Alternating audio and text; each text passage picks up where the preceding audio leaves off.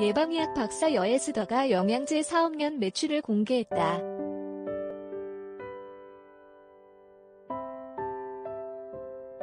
(21일) 오후 방송되는 KBS ETV 예능 옥탑방의 문제아들의 예방의학 박사 여에스더와 한의사 김소영이 출연해 유쾌한 입담을 뽐낸다.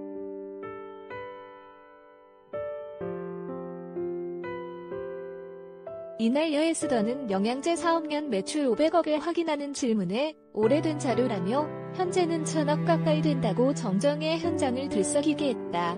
수줍게 웃은 에스더는 자랑하려는 건 아니다라며 귀여운 매력을 발산했다고.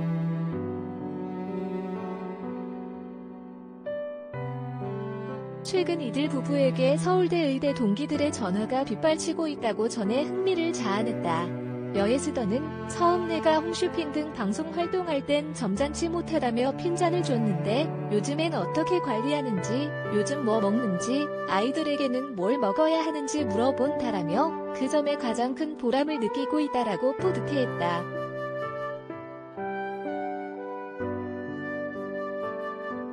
여에스더가 전하는 천억 사업 성공 비결은 오는 2월 22일 저녁 10시 40분 KBS ETV 옥탑방의 문제아들에서 확인할 수 있다.